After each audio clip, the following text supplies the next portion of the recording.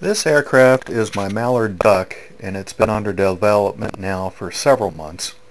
Uh, you'll notice the head is down right now. It has two modes. One is up as you can see in this picture for takeoff and landing and here I am articulating it uh, showing you the up position and the down position. Uh, one of the reasons this has been in development so long is getting the thrust angles right first in the uh, head down position and then the head up position and then also uh, working the center of gravity transition uh, obviously with the head down I fly with a forward CG and with the head up I fly with an aft CG. The aircraft has a 33 inch wingspan and weighs 9 ounces. You saw the very first water takeoff, actually that was the second, and uh, but that was the first water landing. I had had a receiver issue earlier in its development when we first took it out to a lake, so I didn't get to land on the water. Uh, there is the uh, second takeoff from the water. I have a lot of flights on this airplane. It just happened that this was the day that I finally got to do some real lake flying.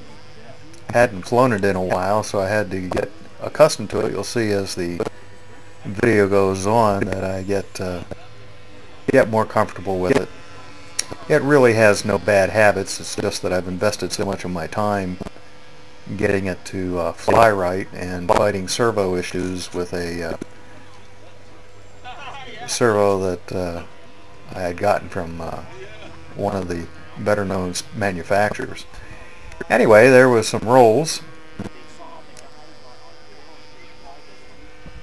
and here we come up into a loop. This this plane really does nice loops. You can see that I had no trouble or fear about flying it at low altitude. Uh, I do have some clips coming up here of head transitions. Uh, my technique uh, prior to landing is to roll inverted cut the throttle and then lower the head.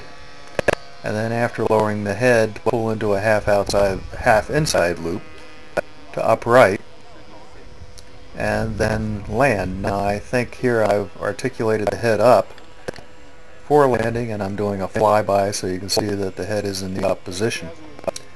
The uh, craft becomes very mushy with the aft CG and the, the up thrust that's required when the head is in the uh, up position.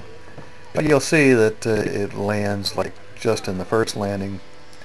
Uh, landings are very easy and it does take off the water very easily, surprisingly for its wide body. But uh, don't seem to have too much adhesion problems.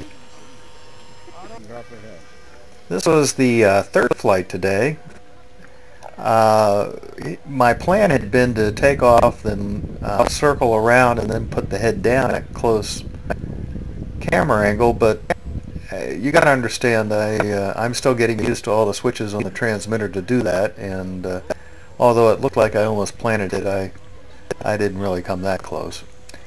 Uh, but here's, you'll get a lot of nice passes and a lot, a good view of what the uh, duck looks like in the air. We had a uh, several people with cameras wanting to shoot pictures, so I made a, a bunch of low flybys. Uh, of course, here's a loop again.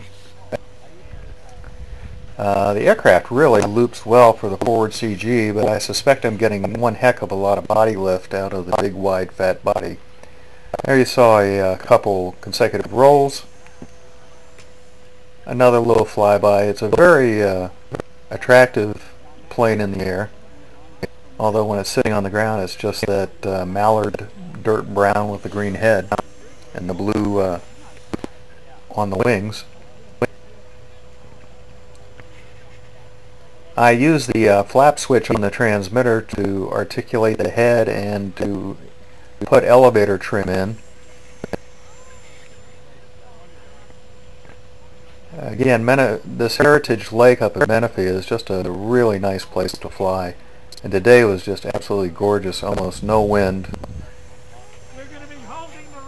And temperatures were pushing the 90s by uh, noontime course, we started early, and uh, it was a, comfortable 75 degrees when we started.